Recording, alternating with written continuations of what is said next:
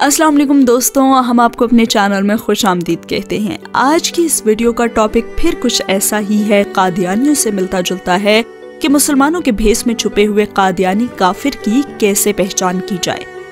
नाजरीन, मुसलमानों के बीच धोखे से छुप कर रहने वाले काफिर नज़दीक अहमदी कादियानियों को पहचानने का आसान तरीका आज की इस वीडियो में बताया जाएगा।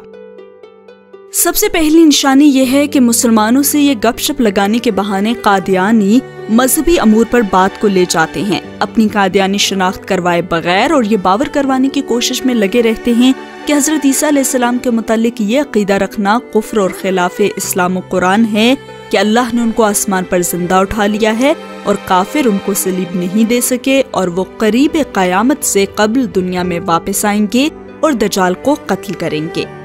बल्कि उनको सलीब पर चढ़ाया गया, लेकिन वो जख्मी हालत में फलस्तीन से कश्मीर हिजरत कर गए। वहाँ 120 साल की उम्र में उनको मौत आई और सही अहादीस में जो मजकूर है कि कयामत से कबल हज़रत ईसा इबन मरियम ने नाजिल होना है, उससे मुराद ये है कि सुम्मत में से ही किसी मसीले ईसा ने पैदा होकर मसीह इबन मरियम और इमाम मेहदी होने का दावा करना है।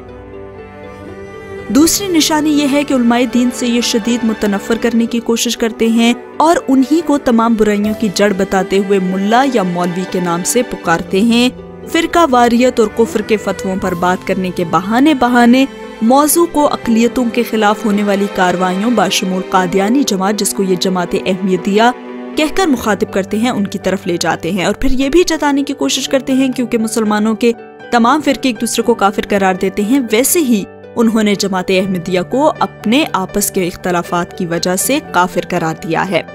तीसरी निशानी इनकी ये है कि कादियानी चांदी की खास किस्म की अंगूठी पहनते हैं। अक्सर लाइल मुसलमानों के सामने या फिर वहाँ पे जहाँ पे उनको इस बात का यकीन हो कि कोई उनको पहचान नहीं सकेगा।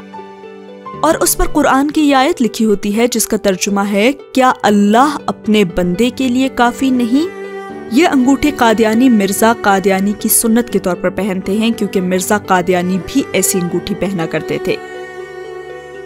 चौथी निशानी यह है कि जो कादियानी है, इनके खलीफा की मुकम्मल दाढ़ी होती है।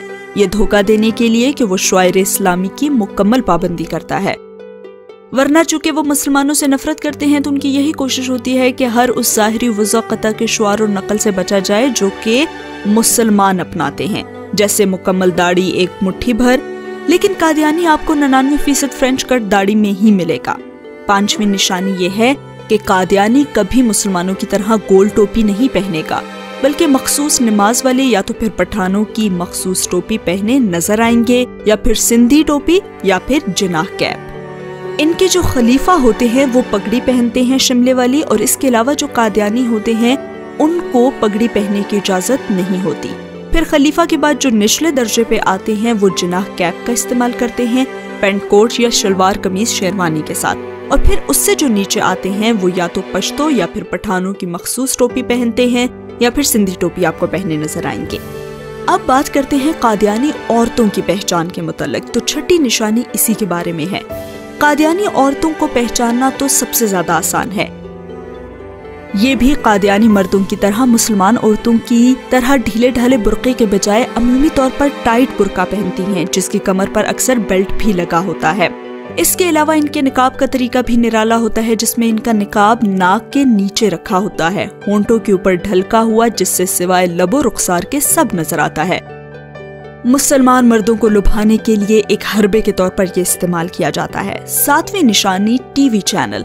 कादियानियों का TV channel M T A Muslim TV Ahmadiyya के नाम से सैटेलाइट से 24 घंटे नशर होता है।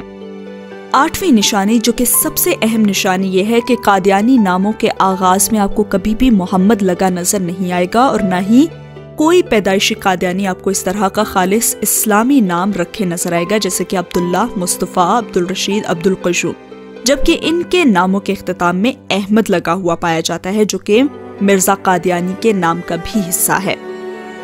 साथ साथ इस बात का भी ध्यान रखा जाए कि पाकिस्तान और दुनिया भर में जितने भी कादियानी हैं, वो पंजाबी ज़ुबान बोलने वाले घरानों से ताल्लुक रखते हैं, क्योंकि मिर्ज़ा कादियानी का ताल्लुक भी तकसीम हिंदुस्तान से कबल कादियान जिला गुरदासपुर, पंजाब से था। तो ये थी कुछ निशानियाँ कादियानियों की जो कि हमने आज की इस वीडियो में आपके सामने रखी। उम्मीद है कि आप इसको ज़रूर याद रखेंगे और आगे भी शेयर करेंगे ताकि मुसलमान इस कादियानी फितने से महफूज रखें और अपना ईमान सलामत रखें। 阿敏。